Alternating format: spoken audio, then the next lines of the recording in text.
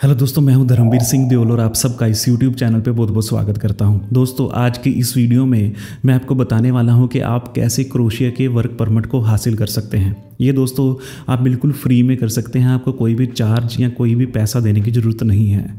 दोस्तों, हर किसी इंसान का एक सपना होता है कि वो अच्छी जॉब करे, एक अच्छा अमाउंट जो है, एक अच्छी सैलरी कमाए और अपने बच्चों को एक अच्छी एजुकेशन या एक अच्छे देश में वहाँ पर सेट करे। अगर दोस्तों, आपका भी यही ड्रीम है तो ये वीडियो आपके लिए है, क्योंकि इस वीडियो में मैं हर एक पहलू के ऊपर बात करने वाला हूँ कि कैसे आप जॉब के लिए अप्लाई करोगे, कैसे आप जॉब को ढूंढोगे इनकेस आपको जॉब लेटर मिल जाता है, तब आप वीज़ा के लिए कैसे अप्लाई करोगे? बेसिक इसकी एलिजिबिलिटी क्या होगी? डॉक्यूमेंटेशन क्या होगी? अगर आपके पास आठ से दस मिनट हैं, तब ये वीडियो आपके कम से कम आठ से बारह लाख रुपए बचा सकती है। क्योंकि इनकेस आप मार्केट में जाओगे, किसी एजेंट के पास जाओगे तो वो क्रोशिया के आपसे आठ से बारह लाख रुपए चार्ज करेगा। यही सब कुछ करना है, जो मैं आपको इस वीडियो में बताने वाला हूँ। अगर आपको अपने टाइम की वैल्यू लगती है तो प्लीज़ इस वीडियो को लास्ट तक ज़रूर देखें। अगर आप मेरे चैनल पर नए आए हैं, पहली बार आए हैं तो प्लीज़ मेरे चैनल को सब्सक्राइब करें और इस वीडियो को लाइक कर दें। दोस्तों, अगर आपका कोई रिलेटिव है, कोई फ्रेंड है जो क्रोशिया में जाना चाहता है, तब आप इस वीडियो का लिंक उसे सेंड कर सकते हैं। अब दोस्तों, बात करते हैं क्रोशिया की। दोस्तों, अगर क्रोशिया की बात की जाए तो क्रोशिया ऑलरेडी एक टूरिस्ट डेस्टिनेशन है। यहाँ पर जो काफ़ी ज़्यादा देशों के जो टूरिस्ट हैं, वहाँ पर जाते हैं। और एक बात होती है कि जहाँ पर टूरिस्ट सबसे ज़्यादा जाते हैं, वहाँ पर जो जॉब अवेलेबलिटी भी काफ़ी ज़्यादा होती है। यहाँ पर हर प्रकार की जॉब अवेलेबल है। मान लीजिए कि आपको होटल लाइन में एक्सपीरियंस है। यहाँ पर एज ए आप शेफ़ काम कर सकते हैं। आप एज ए शेफ़ हेल्पर काम कर सकते हैं। आप एज ए वेटर यहाँ पर काम कर सकते हैं। इन केस आपको मैनेजमेंट का एक्सपीरियंस है, आप एज ए होटल मैनेजर भी यहाँ पर काम कर सकते हैं। इन केस आपकी एजुकेशन कम है, क्योंकि यहाँ पर इन केस आप फिफ्थ भी पास हैं, तब भी आप जॉब के लिए अप्लाई कर सकते हैं। बट वो जॉब कैसी होगी? कंस्ट्रक्शन की आपको मिल सकती है, आपको लेबर की जॉब मिल सकती है। इन केस आपको यहाँ पर मिस्त्री का एक्सपीरियंस है तो तब आप कंस्ट्रक्शन में काम कर सकते हो। और इन केस आपको यहाँ पर डिलीवरी का एक्सपीरियंस है, आपने जोमेटो में अमेजोन में या किसी भी जो डिलीवरी पार्टनर के साथ काम किया है, तब आप एज ए डिलीवरी बॉय भी वहाँ पर काम कर सकते हो। और इन केस आपके एजुकेशन अच्छी है, तब आप यहाँ पर आईटी में काफ़ी अच्छी जॉब्स हैं। आप सॉफ्टवेयर डेवलपर वेबसाइट डेवलपर यहाँ पर काम कर सकते हैं। बट उसकी रिक्वायरमेंट होती है कि आपके पास कम से कम मास्टर डिग्री हो और जो आपके पास कम से कम दो साल का फुल टाइम वर्क एक्सपीरियंस हो। इनकेस आपके पास पार्ट टाइम एक्सपीरियंस है, तब ये किसी काम का नहीं है। तो दोस्तों, यहाँ पर जो जॉब हैं, वो आपकी एजुकेशन और आपके एक्सपीरियंस के मुताबिक अवेलेबल हैं। एक चीज़ समझने वाली है कि जैसे हमारे देश में देखो, हर एक जगह जॉब मिल जाती है बट ये डिपेंड करता है कि वहाँ पर क्या रिक्वायरमेंट है तो वो सेम हिसाब यहाँ पर भी है। आप गूगल पे सर्च करो, आप वेबसाइट को एक्सेस करो जितनी भी जॉब आपको मिलती हैं, उनके लिए अप्लाई करो।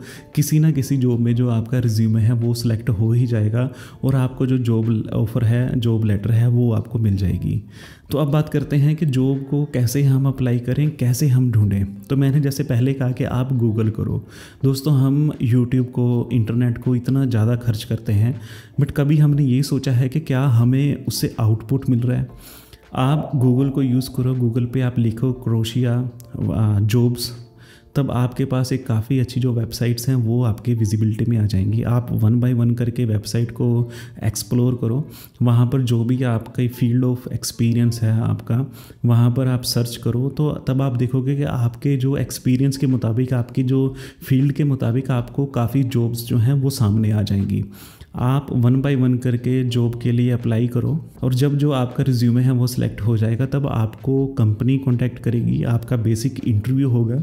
जब आप इंटरव्यू क्लियर कर जाओगे, तब आपको जो जॉब ऑफ़र है वो दे दी जाएगी, जिसके बिहाव पे आप अपना वीज़ा लगा सकते हैं। काफ़ी इजी मेथड है बट टाइम कंज्यूमिंग है। कई बार क्या होता है कि एक बंदा एक दो दिन मेहनत करता है, वो बाद में भूल जाता है, उसे कंटिन्यू कंटिन्यू नहीं करता। बट यहाँ पर आपने ये गलती नहीं करनी। आप एक जॉब के लिए अप्लाई करते हैं, आप कोशिश करें, आप दूसरी उसके साथ लगती जो जॉब है, जितनी भी आपके सामने जॉब्स हैं, सबके लिए अप्लाई करो।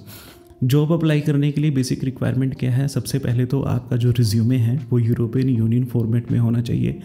कैसे होगा? काफ़ी वीडियोस यूट्यूब पे अवेलेबल हैं। इनकेस आप चाहते हैं कि मैं इस टॉपिक के ऊपर वीडियो बनाऊँ तो आप मुझे कमेंट बॉक्स में टाइप कर सकते हैं। मैं कोशिश करूँगा कि आने वाले दिनों में आपके पास एक वीडियो जो है, इस फॉर्मेट में मैं बना दूँ।